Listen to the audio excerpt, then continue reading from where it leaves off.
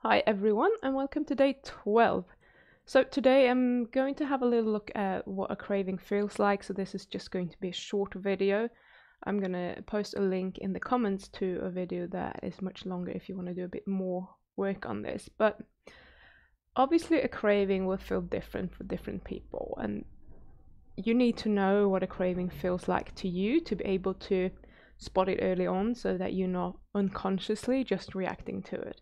It's really good if you can feel when it's coming up and you can just respond with the response that you want or the action that you want to take in this situation.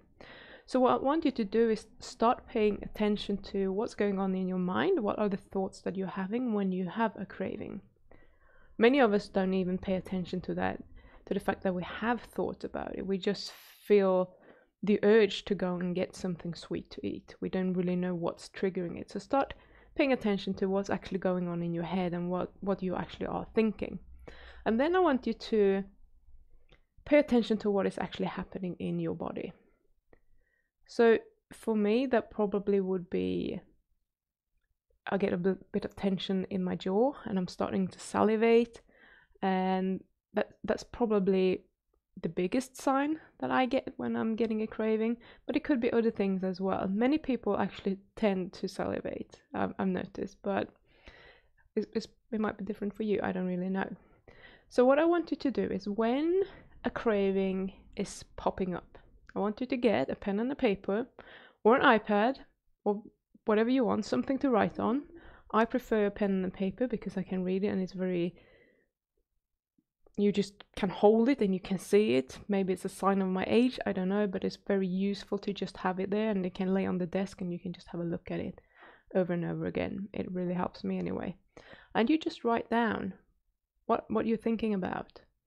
How those those thoughts are feeling in your body in terms of the craving. So, for example, it could be thoughts like, I need chocolate, or I'm so tired and stressed from work, I just need something, or I need a little bit of something to relax. Um, I'm just going to have one piece. That won't do any harm, right? And the feeling I have in my body might be tension, especially around my jaw, maybe in my stomach, I'm salivating, those kind of things. Just write them down, get to know your cravings, get to know what they feel like, and try to be as detailed as possible. And it's really good as well because when you know what kind of thoughts you're having, so as soon as you have one of those thoughts, you will recognize it because now you've spotted it. It's like when you talk to someone about purple cars and you think, I've never seen a purple car, and all of a sudden you see purple cars everywhere because you're paying attention to it. It's the same thing when you are finally having a look at your thoughts. You will start paying attention to it, and so you will notice them when they pop up. So you will you will notice these crafty little sentences in your head just popping up and wanting you to eat and they cause cravings so you can kind of stop the whole process right there.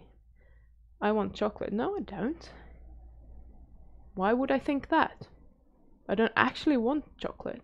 But if you hadn't spotted it it would be really easy to just go with it. I want chocolate. Okay i'll respond.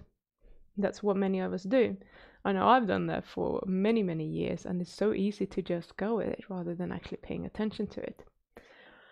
So, by no just knowing what they are like, you can choose your response. You can choose to respond in a different way. You don't have to go and react to them. You can just choose to to sit there and allow them, and that is the. I made a video that is called "Not Eating Sugar is Easy," that I usually send people to and if you want to know how to allow a craving, you can go and have a look at that one. It's a bit longer. I'm going to put the, um, the link in the video description for you. So that's the best video I've done, I think, on how to allow a craving. So what you do is that you just notice what you're thinking, how you're feeling, and then, okay, that's there. But I don't have to do anything about it. Or you can choose to do something else if you want. But that's up to you as long as it's not eating the sweet things. So if you like this challenge, if you like these videos, I would encourage you to just share the videos with everyone. You can subscribe to the channel, you can give it a thumbs up because you know I will be happy if you do that. and when I'm happy, I will make more videos. So please do that and practice allowing your cravings. So when you have them, the more times you're allowing your cravings, the better you're going to be at it. And eventually that will be an autopilot as well. So you have a craving and you're like, okay, I see that you did. I don't care. And then it goes away. And that is actually quite powerful. It, it's really, it's a big relief when you can do that. So I will see you again tomorrow. Bye.